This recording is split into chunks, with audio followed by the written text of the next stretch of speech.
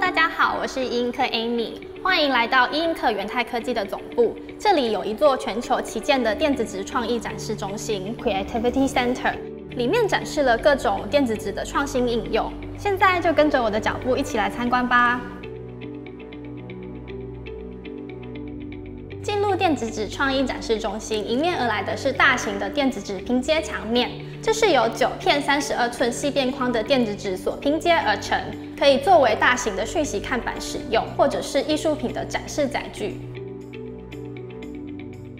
整个展示中心以应用情境的主题作为分区。首先，我们看到的是智慧生活情境区，在这里呢，我们打造了一个迷你的吧台，将彩色电子纸看板融入其中，展示彩色电子纸在零售通路的应用。接着我们看到的是一英科元泰科技的核心产品电子纸模组区，这边展示了各式不同尺寸与规格的电子纸模组。这些模组出货之后呢，会交由英可的生态圈伙伴设计与制造成电子纸的智慧装置。电子纸不发光，对双眼很舒适。最具代表性的应用就是电子书阅读器了。这边展示了全球品牌客户以及不同尺寸的电子书阅读器，随时上架最新的产品。像是这一台彩色阅读器，市场上正热门的也刚上架呢。再来这边可以看到加入手写功能的电子纸笔记本了。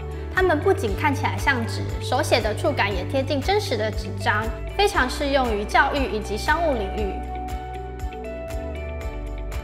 电子纸也被应用在各式不同的移动穿戴装置上，像是手机、手表、智慧型手环等，在市场上别具特色。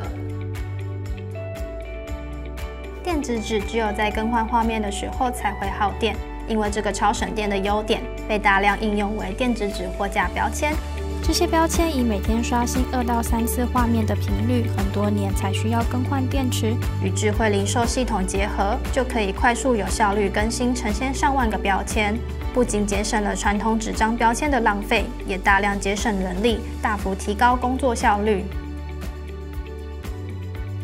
电子纸应用在智慧卡片及智慧物流场域，主要是基于电子纸超省电的优点。